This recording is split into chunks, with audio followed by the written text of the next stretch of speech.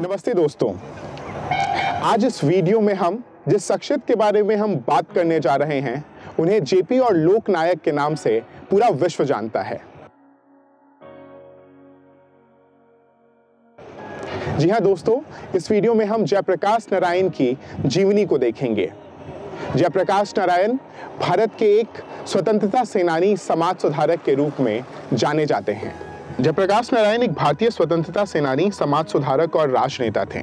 जयप्रकाश नारायण का जन्म 11 अक्टूबर 1902 को बिहार के सारण ज़िले के सिताब देरा गाँव में हुआ। जब जयप्रकाश नारायण 9 साल के थे, तब वो अपना गाँव छोड़कर कॉलेजिएट स्कूल में दाखिले के लिए पटना चले गए। अब एक बहुत रोचक घटना हुई। 1920 में मौलाना अब्दुल कलाम आज़ाद के भाषण से प्रभावित होकर उन्होंने पटना कॉलेज छोड़ बिहार विद्यापीठ में दाखिला ले लिया। शिक्षा के प्रति उनकी रुचि बहुत अधिक थी। बिहार विद्यापीठ में पढ़ने के पश्चात सन 1922 में जयप्रकाश नारायण आगे पढ़ने के लिए अमेरिका चले गए। अमेरिका जाकर उन्होंने जनवरी 1923 में बर्कले विश्वविद्यालय में दाखिला लिया। रोचक बात यह है कि पढ़ाई का खर्चा उठाने के लिए उनके पास सुविधाएँ नहीं थी, इसलिए उन्होंने खेतों, कंपनियों और रेस्टोरेंट आदि में कार्य किया। इसी दौरान उन्हें श्रमिक वर्ग की परेशानियों का ज्ञान हुआ और इसके पश्चात उन्होंने एमए की डिग्री हासिल की, पर पीएचडी पूरी ना कर सकें। क्योंकि माता जी का तबीयत ठीक ना होने के कारण उन्हें भारत वापस लौटना पड़ा। सन उन्नीस में जयप्रकाश नारायण अमेरिका से पढ़ाई अधूरी छोड़कर वापस इंडिया आए। उस समय गांधी और जवाहरलाल नेहरू की तरफ़ से चल रही स्वतंत्रता सेनानी की पूरी लड़ाई अपने चरम सीमा पर थी। गांधी और नेहरू के संपर्क में आने के बाद जयप्रकाश नारायण भी इस इस पूरे स्वतंत्रता संग्राम का हिस्सा बने। 1932 में सविनय अवज्ञा आंदोलन के दौरान जब गांधी नेहरू समेत अन्य महत्वपूर्ण कांग्रेसी जेल चले गए थे, तब उन्होंने भारत में अलग अलग हिस्सों में आंदोलन को दिशा दी। ब्रिटिश सरकार ने अंततः उन्हें भी मद्रास में सितंबर 1932 में गिरफ़्तार कर लिया। समय द्वितीय विश्व युद्ध का था।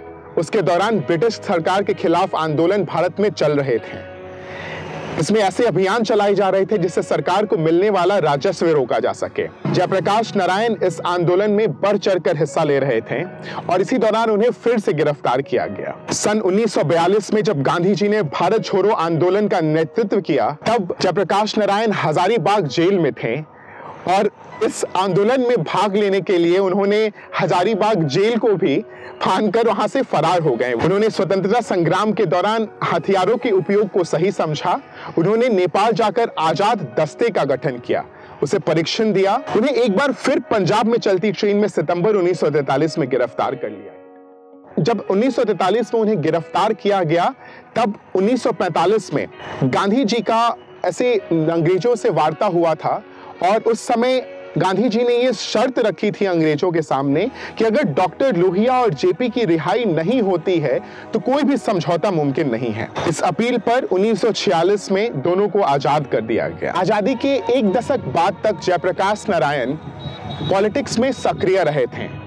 मगर उसके बाद राजनीति उन्होंने छोड़कर लोक सेवा के लिए समर्पित हो गए। 1974 में किसानों के बिहार आंदोलन में उन्होंने तत्कालीन राज्य से सरकार के इस्तीफे की मांग की। वो इंदिरा गांधी के प्रशासनिक नीतियों के विरुद्ध थे।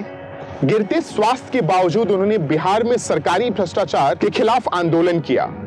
और शुरुआत करी संपूर्ण क्रांति की। संपूर्ण क्रांति जयप्रकाश नारायण का विचार व नारा था, जिसका आह्वान उन्होंने इंदिरा गांधी की सत्ता को उखाड़ फेंकने के लिए किया था। लोकनायक ने कहा था कि संपूर्ण क्रांति में सात कृतियाँ शामिल हैं। राजनीतिक, आर्थिक, सामाजिक, सांस्कृतिक, बौद्धिक, शैक्षणिक व आध्यात्मिक क्रांति।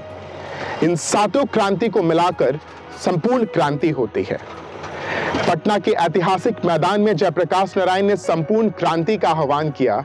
मैदान में उपस्थित लाखों लोगों ने जात, पात, तिलक, दहेज और भेदभाव छोड़ने का संकल्प किया।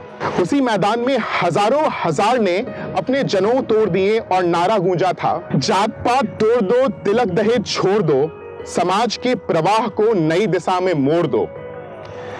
जेपी के नाम से मशहूर जयप्रकाश नारायण घर घर में क्रांति का पर्याय बन चुके थे।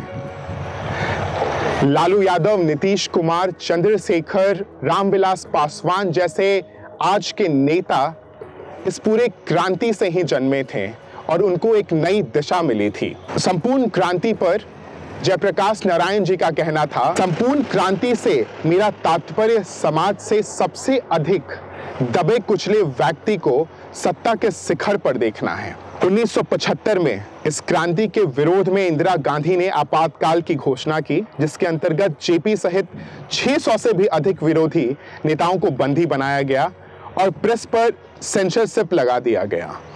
जेल में जेपी की तबीयत और खराब हुई, सात महीने बाद उनको मुक्त कर दिया गया। 1977 में जेपी के प्रयास से एकजुट विरोधी पक्ष ने इंदिरा गांधी को चुनाव में हरा दिया।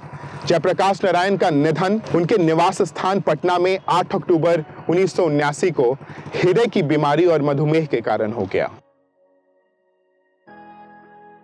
जयप्रकाश नारायण के सम्मान में उस समय के प्रधानमंत्री चौधरी चरण सिंह ने उनकी मृत्यु के पश्चात सात दिन का राष्ट्रीय शोक घोषित किया। मृत्यु के बाद सन उन्नीस में इनको भारत का सर्वश्रेष्ठ सम्मान दिया गया, जो कि भारत रत्न है।